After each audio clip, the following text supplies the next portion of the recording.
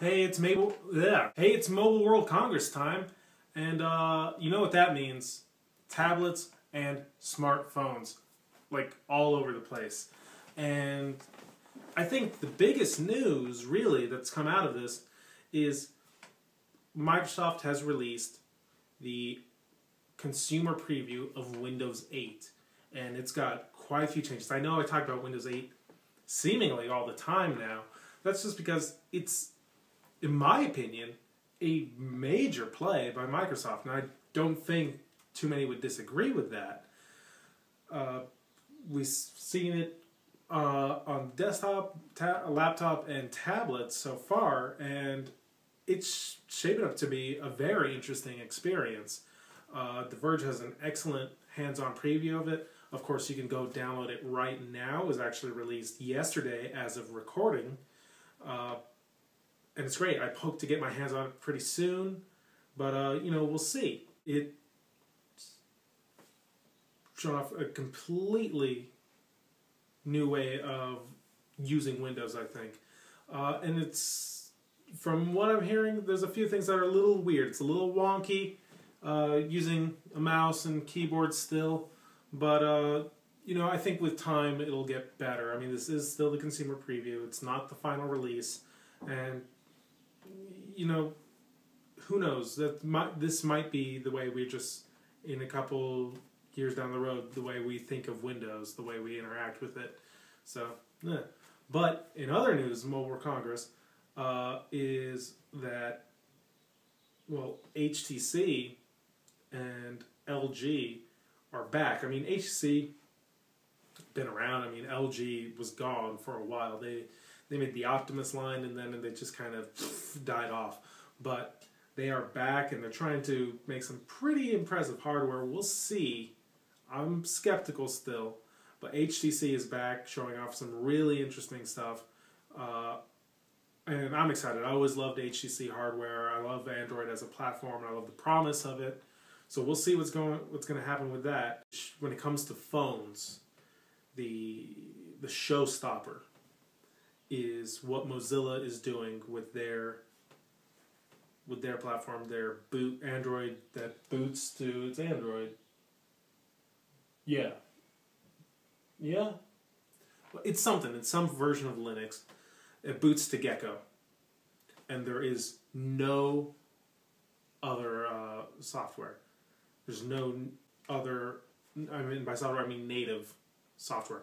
Everything is rendered in the Gecko browser. Everything. The lock screen is all HTML5 uh, rendered in the browser.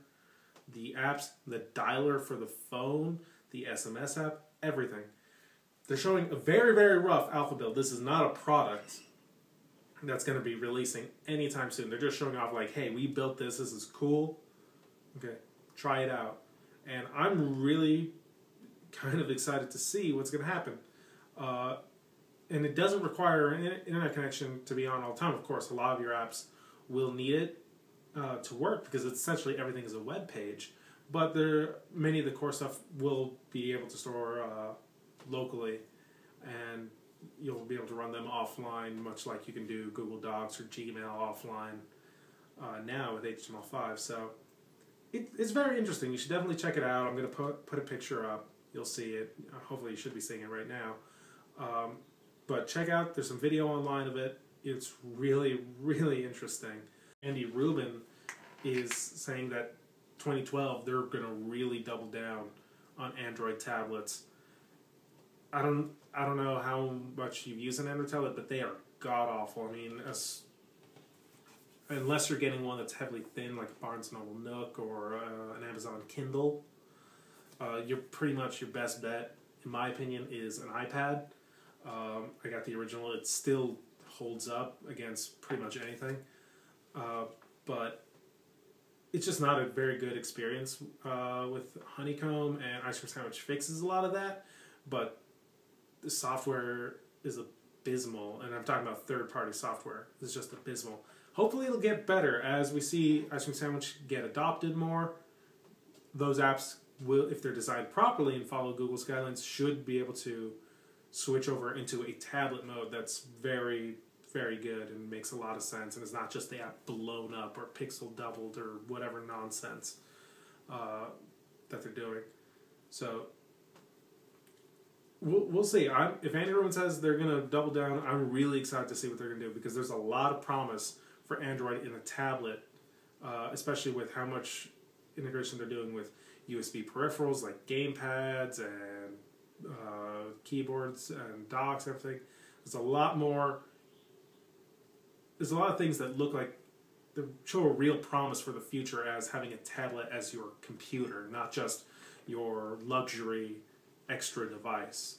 Nokia showed off a phone with a 41 megapixel camera. Uh, Samsung, Samsung just putting stylus, the S Pen, the stylus with everything, everything. That that's just the way they want you to interact with things. Coming up next week, uh, not not to steal uh, MWC's thunder is going to be Apple's iPad 3 event. I believe it's the 7th. So that's going to be exciting. Uh, it looks like they're going to, because was it the the tagline was like, "We can't wait to show you, or you'll see something." Um, where the hell is it? I'll find it. I can't find it. it. It's somewhere there. It's out there. iPad three. Uh, it's gonna have. It looks like it's gonna have a Retina display, uh, which is gonna be exciting. I mean, when I saw the Retina display the first time on the iPhone four, I was blown away. Really, just makes everything look so much nicer and so much better. And to have that on like a display this big is gonna be freaking phenomenal. Uh, but you know they're not just going to release an iPad 2 with a high res display. It's going to be something nuts. There's going to be some crazy new feature that's just going to blow everyone away, and I can't wait to see what that is. I also can't wait to see uh, the OS that's going to be on it. Like obviously it's going to be iOS 5, but it's going to be it's to have some hints at what the next major revision of iOS is to have, and that that I'm really excited to see that as well. Uh, but you know that's for next week. Obviously, you'll see it. I'll be here. I'll be talking about it.